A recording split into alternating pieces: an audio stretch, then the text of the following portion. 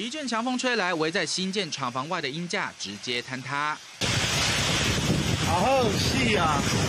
现场发出噼里啪啦声响，大大小小的铁架和层板全都散落地面。可怕的公安意外发生在云林斗六福茂科技公司，傍晚一场狂风骤雨造成意外。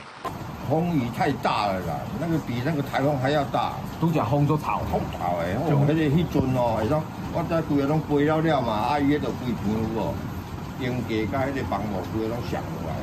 哦，啊拄好办时间。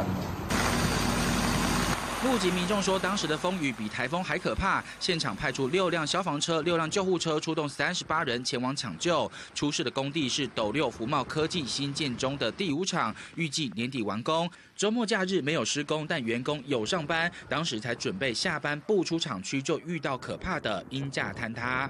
下午四点十二分的时候，哈，呃，我们福茂科技厂区的外面刚好有瞬间的雷震，啊，风大雨大，那造成我们新建五厂工地啊外围的鹰架倒塌。意外造成两死三伤，县府劳青处也陪同治安署人员到场了解情况。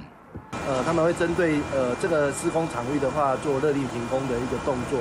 那后续的话，会针对于是否呃有违反相关的治安法的部分，那会最高会裁罚三十万元。鹰架怎么吹了就倒？有没有固定牢库？目前工程勒令停工，若有违反相关规定，就会开罚。包含县府以及劳青处都得了解事发经过，厘清相关责任。民事新闻许嘉诚、蔡松林云林报道。更多精彩新闻，请下载 App 订阅《民事新闻网》。